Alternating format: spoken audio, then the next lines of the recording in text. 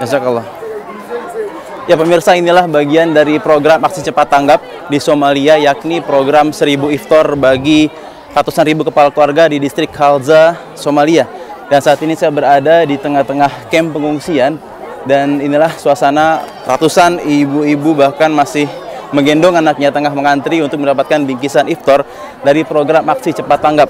Dan di belakang saya bisa dilihat ini seperti kumpulan ataupun stok bahan berbuka puasa yang nantinya akan dibagikan pada ribuan bahkan ratusan ribu kepala keluarga di distrik Kalza sekitar 15 km dari Mogadishu, Somalia. Dan saat ini saya sudah bersama dengan salah satu relawan aksi cepat tanggap. Assalamualaikum Pak Sohel. Waalaikumsalam warahmatullahi wabarakatuh. Pak bisa diceritakan sedikit mengenai program 1000 iftar ini Pak di distrik Kalza ini Pak bagaimana? Ya. Ya, jadi ini salah satu program kita di bulan Ramadan untuk membantu saudara kita yang kelaparan di Somalia. Dan ini kita akan lakukan selama sampai akhir Ramadan nanti sampai mereka menyelesaikan bulan Ramadan sebanyak 1000 paket per hari.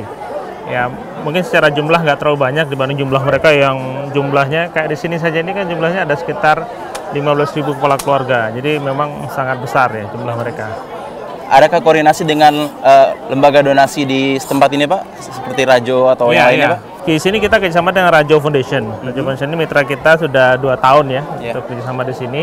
Dan kemarin juga kita sudah berkoordinasi dengan uh, Komite Kelaparan Somalia. Mm-hmm. Jadi kegiatan yang kita lakukan sekarang ini diketahui oleh uh, apa namanya pihak-pihak terkait di, di Somalia. Mm-hmm. Jadi insya Allah bantuannya pun tidak tumpang tindih karena ada beberapa lembaga juga yang memberikan bantuan yang sama. Baik, terima kasih Pak. Selamat bertugas ya. kembali. Terima kasih. Ya pemirsa, tak hanya seribu iftar ini, nantinya aksi cepat tanggap dan juga lembaga donasi di kawasan Kalza Somalia ini juga akan memberikan bantuan air bersih hingga saatnya mereka bahkan sampai pada momen Idul Fitri tiba.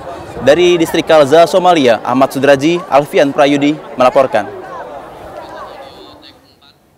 Seribu, seribu iftar selama bulan Ramadan. Ya. Hmm. Hanya selama bulan Ramadan. Sedangkan yang dirasakan dari mereka sudah ada yang ber, sebelum-sebelumnya pun berpuasa mungkin yeah. tidak merasakan seperti yang kita rasakan di Indonesia yeah. begitu ya Pak. Kita berbuka luar biasa sekali di, dengan Semuanya berbagai ada. menu yang empat sehat lima sempurna gitu. itu masih terasa kurang. Sedangkan mereka sendiri dengan ada bantuannya dari ACT Seribu Iftar itu sangat membantu untuk mereka. Tapi setelah Ramadan selesai bagaimana Pak? Jadi begini, kalau ACT sendiri sebetulnya concern pertama tentang masalah pangan ya. Hmm. Pangan, kemudian kesehatan, dan juga air bersih. Hmm. Uh, tapi di samping itu sebetulnya kita sedang berkomunikasi dengan banyak pihak ya. Hmm. Bagaimana yang poin ketiga dari Mas Yuda sampaikan tadi, bagaimana sebetulnya uh, kita mencoba membangun kemandirian dari masyarakat. Hmm. Ya. Uh, dua hal yang kita lakukan untuk kemandirian masyarakat. Yang pertama, kita ingin mitra kita, NGO mitra kita ini di samping juga bermitra dengan kita, yeah. mereka juga bisa menggali potensi lokal mereka agar kemudian ini akan sustain untuk jangka panjang. Hmm. Ya. Yang kedua, Uh, sebetulnya mereka mengajak dan sekaligus membuka peluang sebetulnya bagi pengusaha-pengusaha Indonesia untuk kemudian uh, berinvest di Somalia. Hmm.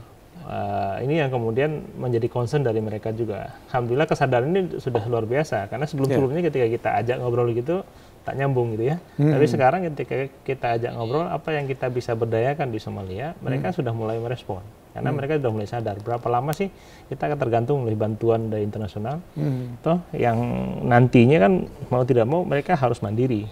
Hmm. Ucana ini juga yang kemarin saya sampaikan kepada Kementerian Luar Negeri dan juga Kementerian Pertanian. Yeah. Dan Indonesia sebetulnya sebagai negara bapaknya Asia Afrika lah. Nah, hmm. Nah, dengan kita pernah mengadakan konversi Asia Afrika 55 dan kemarin juga diulang lagi tahun 2015 ya. Hmm.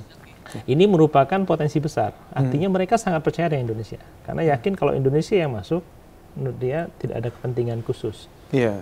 Nah, karena memang negara ini kan problemnya di kepentingan tadi. Hmm, hmm, ya, hmm. karena dia merasa kalau Indonesia yang masuk, kepentingannya pasti sama-sama untung lah masa kita hmm, gitu ya. Hmm. Ya, ini yang kemudian kita berharap Indonesia mengambil peran lebih besar. Yeah. Nah, kami dari sisi NGO ini berupaya ke arah sana, Baik. dan kita berharap dukungan dari semua pihak. Gitu. Secara hubungan internasional, apakah dengan peran Indonesia yang begitu besar ke Somalia itu akan berpengaruh juga dampaknya ke dunia internasional lainnya. Kita masih ada satu segmen lagi, Mas Arya untuk dijawab.